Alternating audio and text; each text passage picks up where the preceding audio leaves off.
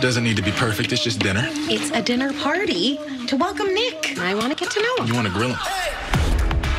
Promise me you won't decide to skip the party. You're Trying to scare me off. It's gonna take a lot more than your sisters and your kids. Aw, thought it was Mama.